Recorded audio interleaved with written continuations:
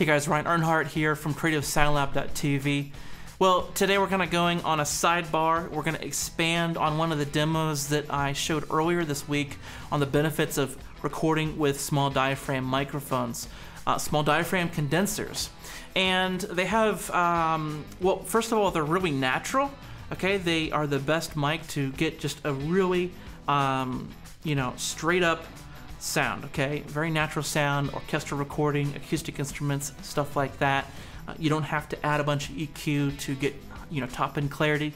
Uh, they have great transient response, okay? And then finally, they're very consistent on their polar patterns. So, a large diaphragms, they may not be cardioid all the way through all the frequencies, but small diaphragms, they're going to be able to reject low-end sources from behind them. And this comes into play in our example today. I have a friend, Garrett Derhofer, over at Studio 412, uh, a local guy here in Asheville, North Carolina, and you know, he's got like a really sweet studio with like a whole disco show in his basement. He's got two drum sets, a bunch of amps set up, ready to go.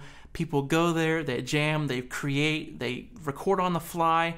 He said, dude, how do I record a piano when I have my drum set like right there that's 10 to 15 feet away?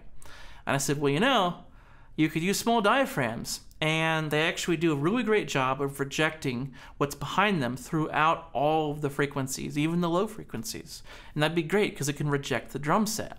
And so as just there, I want to show you a few examples today. Um, let's check out our kind of standard setup. He's going to be playing piano, I'll be playing drums, and I got a SU013 on the piano and it's basically nulling out the drum set, meaning that the back of the microphone is facing the drums. We're rejecting those drums as much as possible because it's a cardioid microphone and it should reject uh, in a really nice way a lot of that drum kit. Let's see how good it did.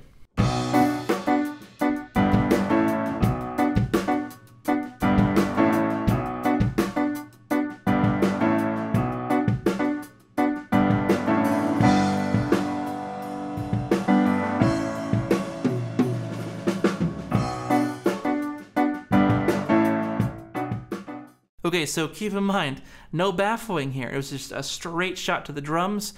I was really impressed with that. Okay. And again, maybe in the past I would have tried like an SM57 or an Audix i5. I've done that too. You know, thinking, wow, maybe in a live jam situation, you know, I have to use dynamic mics. Well, I guess because of the physics and the design of small diaphragms, we actually can use those and get better results because of the rejection characteristics. It's on that consistency of that polar pattern, okay? It can reject um, from behind in the high frequencies and reject from behind in the low frequencies. Large diaphragms, they don't really do that so well. So let's check this out. Uh, this is a Rode NT2000. This is a great mic. I really like this mic a lot. I've used it on piano a lot. I've used it on toms. I like that a lot on toms too. It's got a really nice kind of mid-range to it.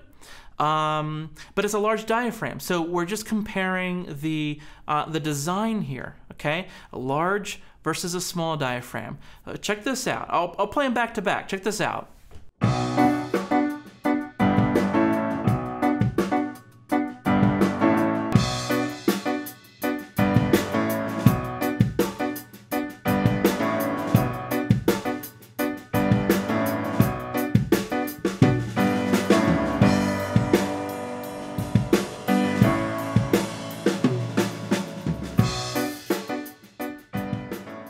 Okay, so it's a big difference there. Let's keep going. Let's add in a uh, dynamic mic, okay, an SM57. Okay, so back to back now, we're to start out with the SU013 uh, by Soyuz, then the NT2000 by Rode, and then the SM57 by Shure. Okay, back to back now, and listen to that drum bleed.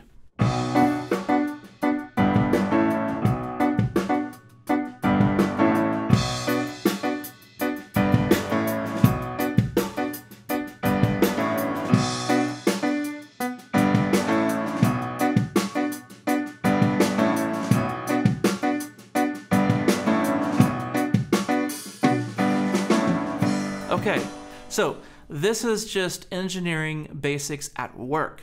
Okay, we don't have to use gates, we don't have to use EQ to get any of this. We're just using our know-how of the microphone design to get these results. Now, let's take it up a notch and let's actually add in some baffling. Let's take the small diaphragm condenser and let's just really see how good we can get this. All this is is three different lightweight packing blankets. These aren't really very thick, but we're gonna triple, you know, triple them up. And then we also have a, uh, a, a, panel of three inch rock wool. So let's check this out with some baffling. Here's before and after.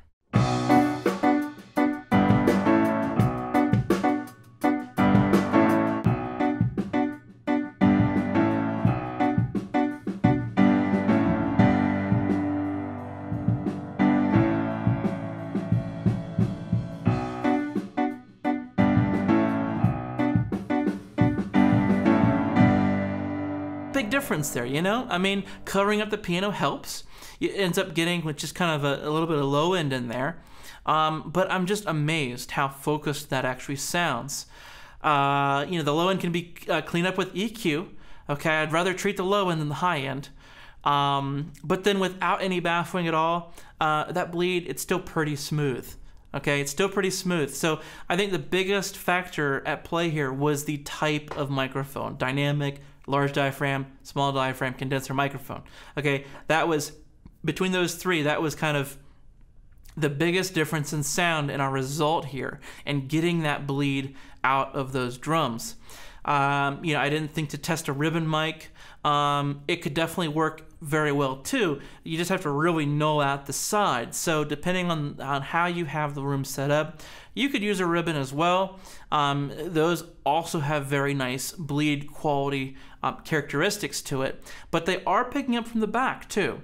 Uh, so you are going to get a, a good amount more room sound with a ribbon. It can still work very well. I've done it. I've done it with guitar amps and drums in a room. But for this scenario, I thought that the small diaphragm worked very, very well. Uh, from here, we just added some stick-on foam to you know the big beams of that piano just to help with the reflection, and I packed up my gear and left. I want to say just a big thanks to Garrett at Studio 402 to let me crashed this place uh, with little notice to do this experiment. So guys, you know, give me your thoughts on this. Um, I This is pretty cool stuff. I'm really pleased with these results. I thought this is a really cool video. I'll be hanging out in the comments below.